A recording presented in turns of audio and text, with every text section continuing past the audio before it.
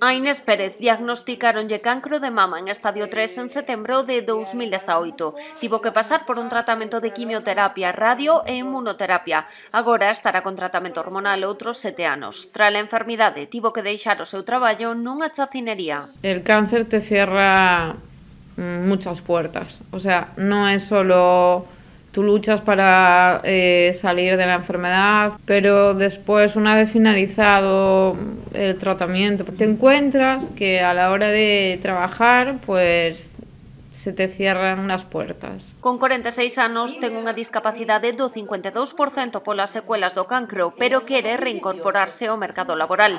So pide un posto adaptado á súa condición. Que polo menos me diese unha oportunidade de demostrar que sí puedo, o sea, hoy sí quiero, y sí tengo ganas, y sí tuve cáncer, pero sí puedo seguir eh, en el mundo laboral, quiero reincorporarme al mundo laboral, pero nadie te da la oportunidad, es muy complicado. Inés entra nese 28,4% de pacientes de cancro que perden o traballo despois da enfermidade, segundo datos da Asociación Española contra o Cancro. A entidade sinala a necesidade de facer cambios normativos e romper estereotipos.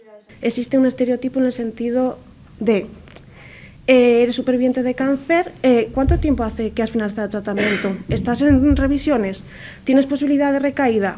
Eh, supone permisos médicos. Entonces, bueno, al final todo eso conlleva a dificultades a la hora de hacer unha inserción laboral. Judy Arboleda, de 48 anos, tamén puxo xe rostro a este problema. Foi diagnosticada de cancro de mama en setembro de 2019, despois dunha cirurxía radical, quimio, extirpación da metade dos ganglios do brazo esquerdo e co tratamento de inmunoterapia, fixo un curso de cociña e conseguiu o certificado de profesionalidade, pero tivo que deixar o seu primeiro traballo porque non se adaptaba ás súas secuelas.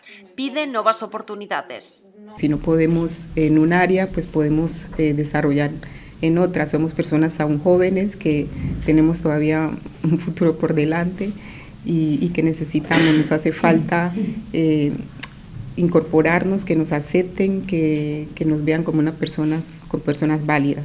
Caso semellante ao das súas compañeiras e o de Marita Gutiérrez, de 54 anos. Sempre traballou como administrativa, pero o diagnóstico de cancro de mama en 2018 deixouna sen oportunidades.